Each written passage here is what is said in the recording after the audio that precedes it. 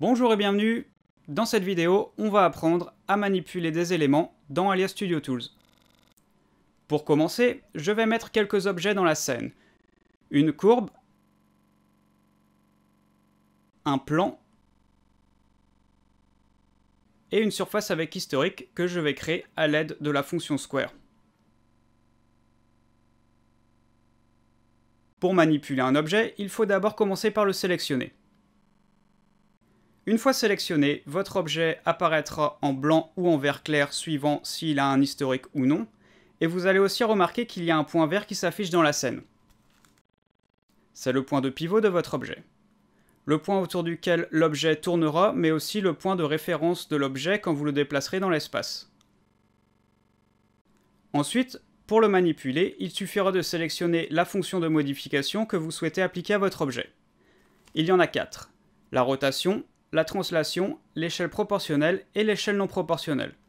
Vous allez pouvoir trouver ces fonctions dans la palette, mais je vous conseille très fortement de les avoir dans votre marking menu.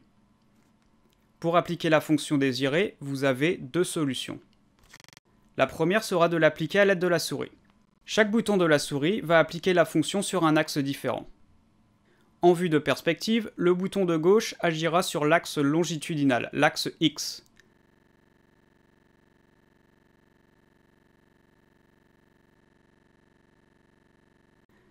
Le bouton du milieu agira sur l'axe transversal, l'axe Y. Et enfin, le bouton de droite agira sur l'axe Z, l'axe vertical. En vue ortho, le bouton de gauche agira sur les deux axes à la fois, le bouton du milieu sur l'axe horizontal, et enfin le bouton de droite sur l'axe vertical. Vous pouvez aussi appliquer les modifications au clavier en entrant les valeurs désirées pour chaque axe séparées d'une virgule.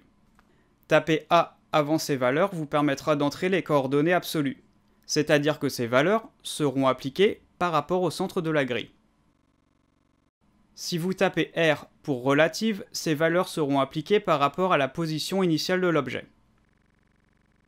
Attention, si votre objet possède un historique, il faudra déplacer les entités responsables de sa création et non l'objet en lui-même si vous ne voulez pas perdre son historique.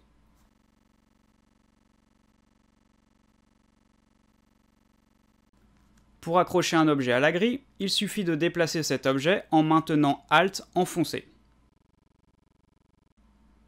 De la même façon, vous pouvez l'accrocher à un point en maintenant CTRL enfoncé. Pour accrocher votre objet le long d'une courbe ou sur le bord d'une surface, il faudra maintenir CTRL et ALT enfoncé, puis cliquer sur le bord de surface ou la courbe désirée.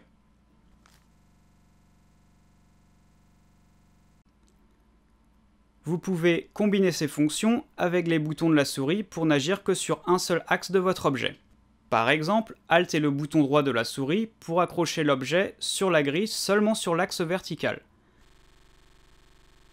Si maintenant vous pressez CTRL plus le bouton du milieu de la souris, l'objet s'accrochera sur un point uniquement sur l'axe horizontal.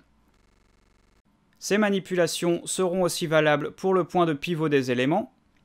Pour déplacer le point de pivot d'un objet, il suffira de sélectionner la fonction pivot.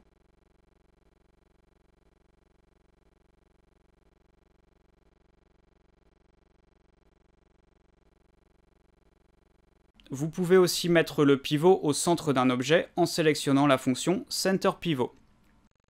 Attention, les éléments d'un groupe peuvent avoir des points de pivot différents du groupe en lui-même. Faites bien attention à ce que vous sélectionnez avant de faire une manipulation. Voilà, c'était tout pour la manipulation des objets dans Alias Studio Tools. J'espère que c'était clair et je vous dis à la prochaine